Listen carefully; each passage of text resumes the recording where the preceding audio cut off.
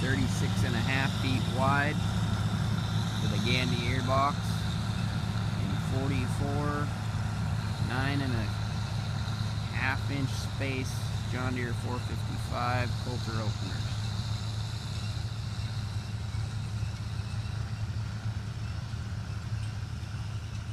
Planting grass seed.